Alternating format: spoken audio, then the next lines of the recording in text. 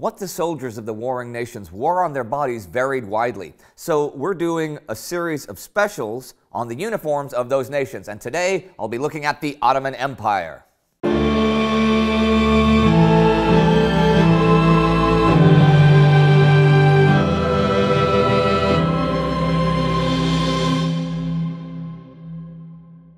I'm Indy Neidell. Welcome to a Great War special episode on Ottoman Army uniforms during the First World War.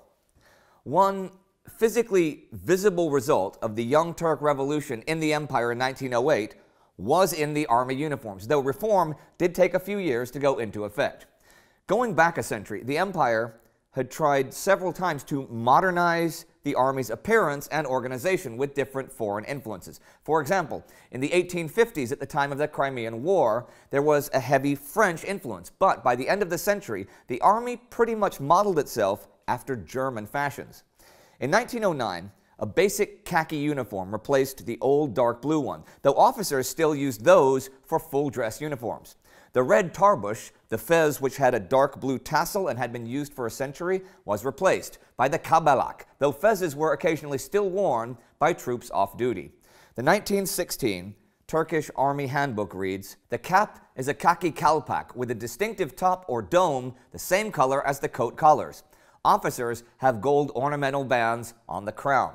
But the rank and file were supplied in 1913 and 1914 with a new head covering the bashlik, a long strip of khaki cloth tied spirally on the head and forming a sort of soft helmet which can be easily mistaken for the British khaki helmet in a bad light. It is, however, more pointed and falls particularly in front and behind. Some reports say that the Kabalak was personally designed by Enver Pasha, Ottoman Minister of War, but others refute that. So, from 1908, they had the Kabalak, and then it was later replaced with the simpler Bashlik. Troops of Arab origin usually wore their traditional kufia headcloths. Later in the war, the Ottoman Navy brought in a new headgear that was basically a normal European naval cap, but without the peak in front as deference to Islamic tradition. You could touch your head to the ground during prayers without taking it off. Actually, post-war, when Ataturk came to power, he insisted that men wore peaked caps as a direct challenge to Islamic tradition, and a lot of people were killed in the subsequent riots. Toward the end of the war, some soldiers were issued steel helmets, the first of those being Ottoman shock troops that served in Palestine and the Caucasus.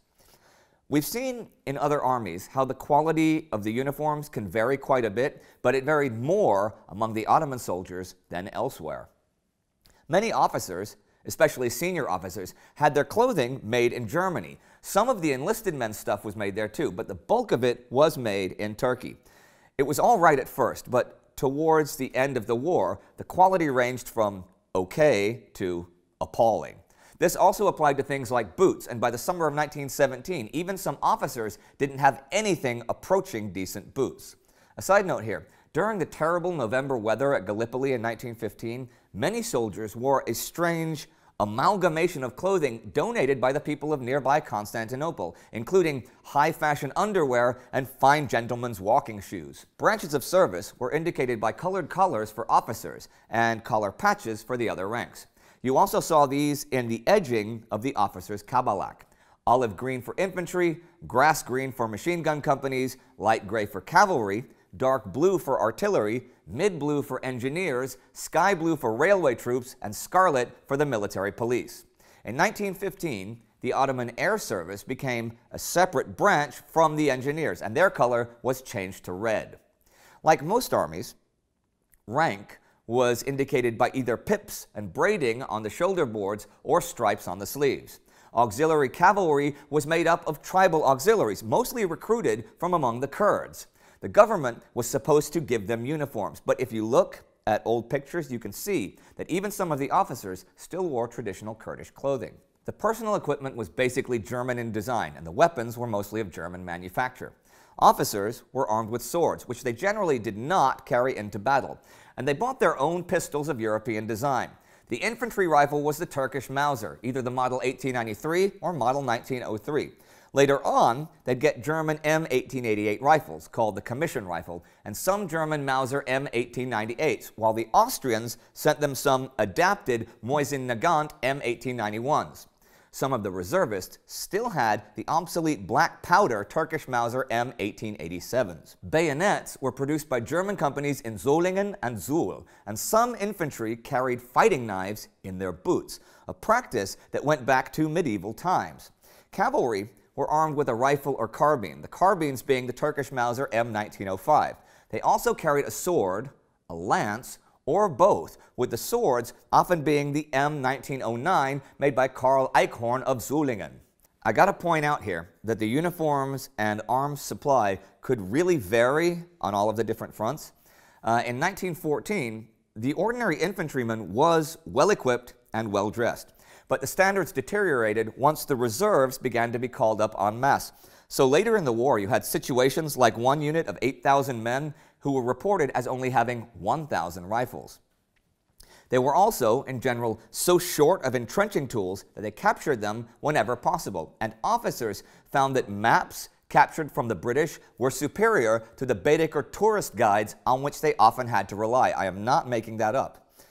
And that's the basic rundown. You have to realize that the fronts on which Ottoman soldiers fought varied more widely than most of the other nations, and the equipment is going to reflect all the local variations that adjust for climate. They fought in the deserts of the Middle East or Libya, the floodplains of Mesopotamia, the frozen mountains of East Anatolia, the Galician heartland, the rocks of Gallipoli, the bleak expanses of the Caucasus, pretty much every climate imaginable. If you spend some time just Googling old photos of the empire, you can see the variations in uniforms and equipment. I have to say that I personally think the Ottomans had some of the cooler looking uniforms, but you can form your own opinions. In fact, I'm going to wrap it up now so you can spend the next few minutes looking up Ottoman uniforms for yourselves to see it in a little more depth. And while you're doing so, think of that unit of men with only 1,000 rifles, 7,000 of them going into battle armed with, with what? I don't know, with rocks, knives, just thousands more young men marching to their deaths against the modern forces of modern war. If you'd like to see our episode about German rifles of the First World War, you can click right here for that. Do not forget to like us on Facebook and follow us on Twitter and subscribe, subscribe, subscribe. See you next time.